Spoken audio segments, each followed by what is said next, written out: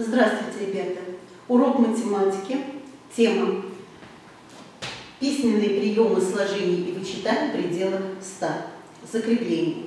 В этом учебном году мы с вами научились решать примеры письменно в пределах 100 с переходом через десяток, без перехода через десяток и с приема, где есть нули.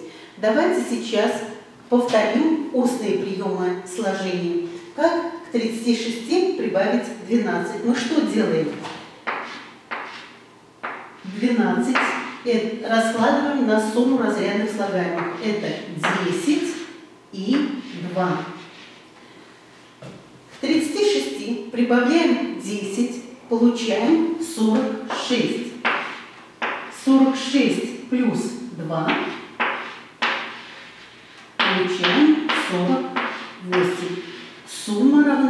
48. Хороший прием. Сложение устно. Однако, вспомните, мы письменно уже научились решать. 36 записываем. С левой стороны плюс ставим. 12. Единицы пишем под единицами, десятки под десятками. Равно. Складываем единицы. 6 плюс 2 получаем 8. Пишем под единицами. Складываем десятки. 3 десятка плюс 1 десяток получаем 4 десятка. Читаю ответ. Сумма равна 48. Удобнее, легче считать. Посмотрите на следующий прием. Прием письменный. Устный прием вычитания сначала решим. Без перехода через десяток. 36 минус 12. 12 это сумма чисел 10 и 2. Вычитаем. От 36 10 вычитаем, получаем 26. И минус 2 получаем 24. Письменно запишем этот же прием. Пример 36 минус 12. Единицы пишем под единицами, десятки под десятками. Начинаем вычитать единицы. 6 минус 2 получаем 4. Пишем под единицами. Вычитаем десятки. 3 десятка минус 1 десяток получаем 2 десятка. Получаем. Пишем под десятками. Читаю ответ. Разная сторона 24. Перед вами все приемы сложения и вычитания в пределах 100, которые мы изучили в этом учебном году. Сейчас мы с вами повторим все приемы. Посмотрите внимательно. 45 плюс 23. Единицы записаны под единицами, десятки записаны под десятками. Считаем. 5 плюс 3 получаем 8. Пишем под единицами.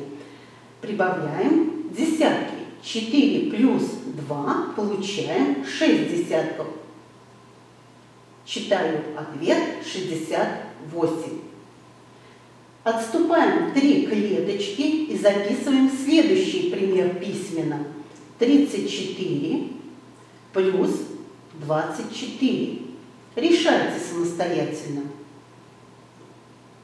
Проверяете себя. Получилось сумма равна 58. Следующие приемы. Вычитание без перехода через десяток. 57 минус 26. Сосчитайте, сколько получилось. Результат равен 31. Единицы записаны под единицами, десятки под десятками. Разность сторона 31. Следующий пример. 68 минус 32. Сосчитайте. Результат равен вычитанию 36. Следующие приемы. Сложение с переходом через десяток. 37 плюс 48. Единицы также под единицами пишутся, десятки под десятками. И начинаем считать. Складываем единицы. 7 единиц плюс 8 единиц получаем 15 единиц. 5 единиц записываем под единицами, 1 десяток запоминаем. Прибавим его к десяткам. 3 десятка плюс 4 десятка 7 десятков, да еще один десяток будет 8 десятков. 8. Сумма равна 85. Следующий пример. 36 плюс 25. Не забываем, что единицы пишутся под единицами, десятки под десятками. Сосчитайте, сколько получилось. Сумма равна 61. Правильно, ребята. Следующий пример. Посмотрите, в результате у нас при сложении получится нули. При сложении единиц. 7 единиц плюс 3 единицы получаем 10 единиц. 10 единиц это 0 единиц записываем под единицами, а 1 десяток запоминаем. Его прибавим мы к десяткам. 3 десятка плюс 5 десятков 8 десятков, да еще один будет 9 десятков. Сумма равна 90. Следующий пример. 36 плюс 24. Сосчитайте самостоятельно. Сумма равна 60. Следующий пример. 87 плюс 13. К 7 прибавляем 3 единицы, получаем 10 единиц. 0 единиц записываем, одну единицу, э, один десяток запоминаем к десяткам. А, прибавляем десятки. 8 десятков плюс 1 десяток будет 9 десятков, да еще один десяток, это будет 10 десятков или 100. Вычитание, прием вычитания на однозначное число, где уменьшаемое имеет нули. 40 минус 8, обратите внимание, единицы пишутся под единицами. Так как десятки отсутствуют, оставляем свободное место. Вычитаем единицы. От нуля 8 не можем вычесть. Идем занимать у десятков. Не забываем, что ставим точку. Это говорит о том, что стало на один десяток меньше. Один десяток – это 10 единиц. 10 минус 8 получаем 2. Осталось 3 единицы. Ответ читаю. Разность равна 32. Следующий пример. 50 минус 7. Решается самостоятельно подобный пример. Разность равна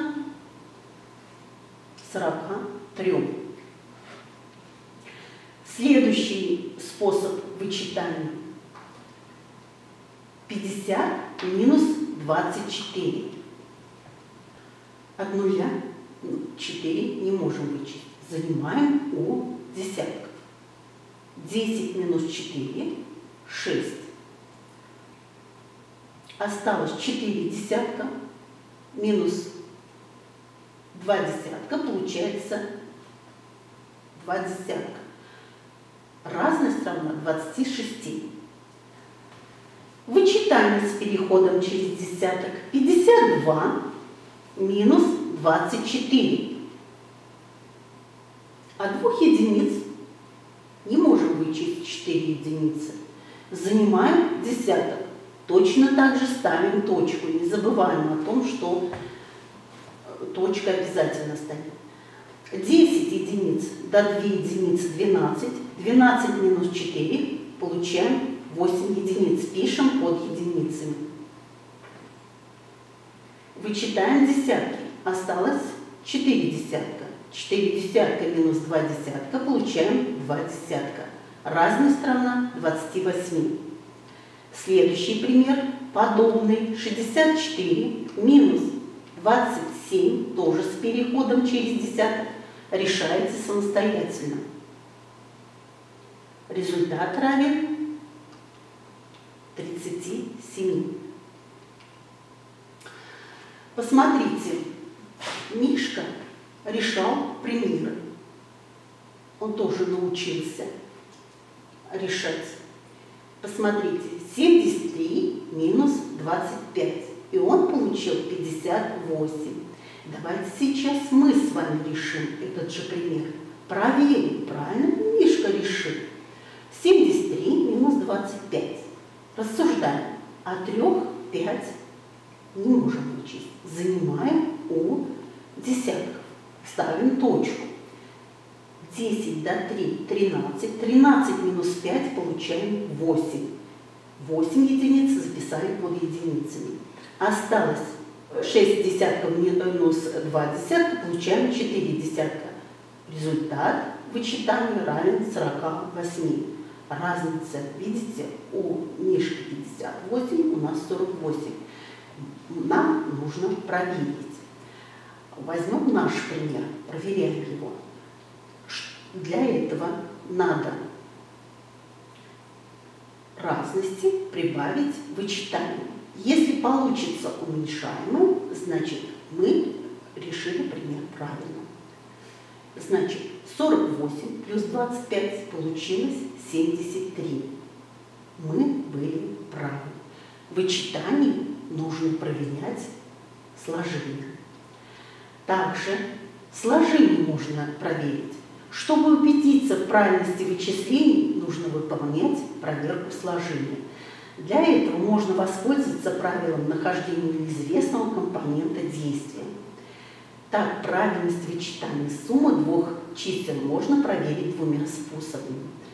Первый слагаемый 45, второй слагаемый 18, сумма 63. Мы от суммы 63 вычитаем первое слагаемое 45, получаем второе слагаемое 18. Или по-другому можно сделать от суммы 63 вычитаем второе слагаемое 18, получаем первое слагаемое 45. Итак, чтобы проверить, вспоминаем, чтобы проверить правильность сложения двух слагаемых, из суммы вычитают одно из слагаемых. Если получится другое слагаемое, то действие выполнено верно. Итак, ребята, мы сегодня с вами вспомнили все письменные приемы сложения и вычитания в пределах 100. Спасибо за внимание.